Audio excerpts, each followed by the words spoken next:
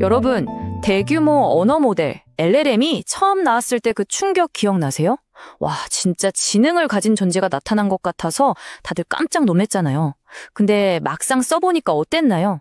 자신만만하게 헛소리하는 환각현상. 방금 한 얘기도 까먹는 기억상실. 뭘 시켰는지 잊어버리는 목표 표류까지. 기대가 컸던 만큼 실망도 정말 컸죠. 그래서 오늘은 바로 이 골치 아픈 문제들을 해결할 새로운 청사진, SCL에 대해 한번 제대로 파헤쳐 보겠습니다. 오늘 이야기는 이런 순서로 진행될 거예요. 먼저 기존에 무조건 크게 전략이 왜 한계에 부딪혔는지 짚어보고요. 그 다음 대안으로 떠오른 SCL이 대체 뭔지 어떻게 돌아가는 건지 알아볼 겁니다. 그리고 실제 테스트 결과로 성능을 직접 확인해 본 다음에 이게 앞으로 AI 세상에 어떤 의미가 있는지 이야기하면서 마무리하겠습니다. 자, 그럼 첫 번째 얘기부터 해볼까요? AI의 이런저런 문제들을 해결하려고 사람들이 제일 먼저 떠올린 아이디어는 사실 진짜 단순했어요. 뭐냐고요? 그냥 모든 걸 더 크게 만들자 이거였죠. 근데 이 더 클수록 좋다는 믿음이 결국 막다른 길에 부딪히고 맙니다. 우리가 처음에 AI한테 기대했던 건 정말 많았죠. 딱딱 사실에 기반해서 대답해주고 맡은 일은 끝까지 해내고 대화 흐름도 절대 놓치지 않는 그런 완벽한 비서 말이에요. 근데 현실은 완전 딴판이었습니다. 너무나도 확신에 차서 거짓말을 하는 환각, 대화의 맥락을 툭 하면 잃어버리는 기억 상실, 그리고 애초에 뭘 하려고 했는지 까맣게 잊어버리는 목표 표류가 계속해서 발목을 잡았죠. 그래서 업계에서는 거의 정설처럼 믿는 가설이 하나 있었습니다. 바로 규모의 힘이죠. 데이터를 그냥 산더미처럼 쏟아붓고 모델의 파라미터는 수천억 개, 아니 조 단위까지 늘리고 학습 시간도 끝도 없이 늘리면 언젠가는 이런 문제들이 마법처럼 싹 사라질 거다 이렇게 기대했던 거예요. 자, 그렇게 어마어마한 돈과 시간을 쏟아 부었는데 결과가 어땠을까요?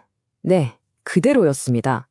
환각이나 목표 표류 같은 근본적인 문제들은 꿈쩍도 안 하는 거예요. 여기서 이제 모두가 깨달은 거죠. 아, 그냥 몸집만 키운다고 되는 게 아니구나.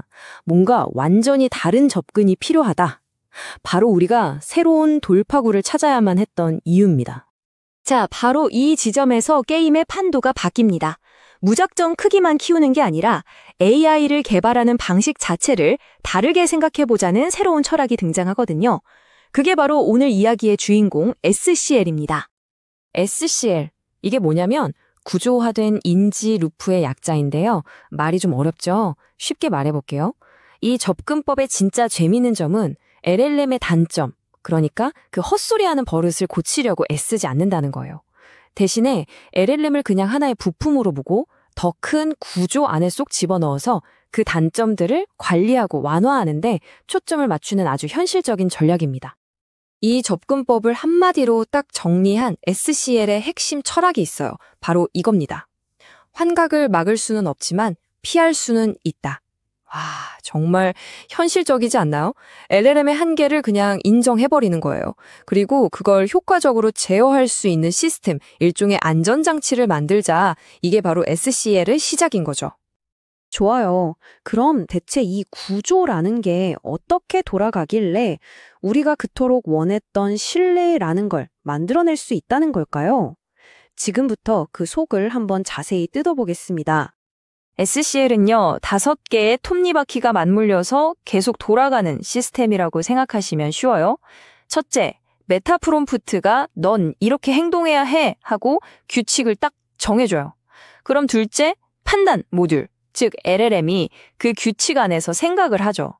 그 결과는 기억 저장소에 차곡차곡 쌓이고요. 실행 모듈이 실제 행동에 옮기고 마지막으로 제어 모듈이 이 모든 과정을 매의 눈으로 지켜보는 감독관 역할을 하는 겁니다. 이 다섯 단계가 계속해서 유기적으로 반복되는 거죠. 자, 이렇게 시스템을 갖추면 뭐가 좋냐? 바로 이 세 가지 핵심 가치를 얻을 수 있습니다. 이게 진짜 중요해요. 첫째, 정확성. LLM이 속으로 헛소리를 좀 해도 제어 장치가 딱 막아주니까 엉뚱한 행동으로 이어지질 않아요. 둘째, 투명성. 모든 과정이 기록되니까 나중에 얘가 왜 이런 결정을 했지? 하고 들여다보면 그 이유를 전부 알 수 있습니다. 마지막으로 재현성. 어제 물어봤을 때랑 오늘 물어봤을 때 답이 달라지는 그런 일 없습니다. 똑같은 질문엔 똑같은 답이 나오죠. 기존 AI 에이전트들의 고질병을 정확하게 해결하는 겁니다. 자, 이론은 뭐 글싸요. 근데 진짜로 이게 될까요? 백문이 불여 일견이죠. SCL을 다른 쟁쟁한 AI들이랑 직접 붙여봤습니다. 아주 흥미로운 결과가 나왔으니까 한번 보시죠. 테스트 문제는 여행 플래너 만들기였습니다. 이게 그냥 뭐 파리 맛집 찾아줘 이런 단순한 게 아니에요. 실시간 날씨 데이터를 보고 비가 오면 실내 관광지 추천 이메일을 보내고 날씨가 맑으면 야외 사진을 생성해서 첨부해 이런 식으로 조건에 따라 완전히 다른 행동을 해야 하는 꽤 복잡한 미션이었습니다. 논리적인 판단이랑 정확한 실행 능력이 둘 다 필요했던 거죠. 자, 결과 한번 보시죠. 아주 명확합니다. 정확성, 투명성, 재현성.